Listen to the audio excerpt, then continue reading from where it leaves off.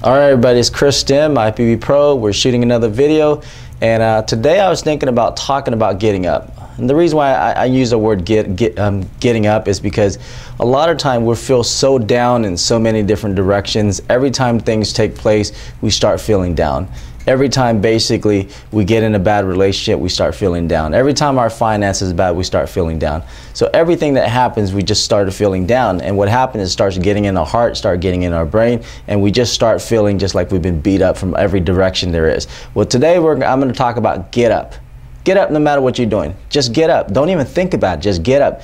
Get up when you're feeling weak. Get up when your relationship's bad. Get up when your finances is bad. Get up when your health is bad. Get up and do something about it. Get up and pray about it. Get up and basically just start feeling good. You know, get dressed, put a smile on your face, you know, and, and leave the house, put your head up high. Remember, if you look, you can look up, you can get up, keep getting up. Because remember, we talked about over and over again, the enemy doesn't know what to do when you just don't quit. But the biggest thing is you just don't want to quit. You're going to be that warrior, you're going to be that gladiator, you're going to be that person, and you're going to look at yourself and say, you know what, I'm strong, I'm brave, I'm big, I'm tall, you know, I got, I got a heart of gold, but I also got a heart that no one else can break through because I believe in myself and I know how big and how strong I am, and I know I can keep on pushing, keep on going. Because if you look at a lot of time when you've been beat up and you're blindfolded beat up, a lot of us, we don't know what we need to do. But I can tell you what, if you put a smile on your face, if, you if, if you know you, you have a blessing on, on your hand, every single time you're up and you're six feet from the ground, you feel blessed. That's how I feel and know that everyone else, there's always someone else that's having it worse than you are. So what you want to do is you want to pray, you want to get up, you want to be excited, you want to live life, you want to feel that good energy, attract more good people into your life, and keep on going, keep on pushing, keep on believing in yourself, but keep getting up no matter what you're doing.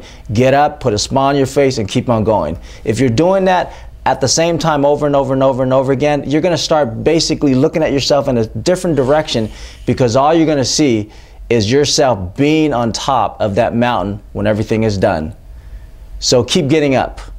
Uh, health tip for the day, we're going to go ahead and talk about blood flow. Create a blood flow for yourself. When you get into the gym, when you're running, when you're, when you're doing any type of exercises, you're creating blood flow in yourself. Just remember, motion create emotions. So if you're up and you're moving around, you're jumping for joy, and you're always up and you're always exercising, you're always creating blood flow in your life, everything is going to feel better.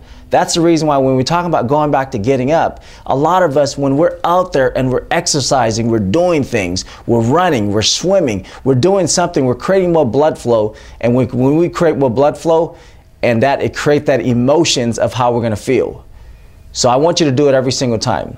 Every time you're feeling bad, get up, jump around, jumping jacks, push ups, whatever you need to do. Create some blood flow in your life.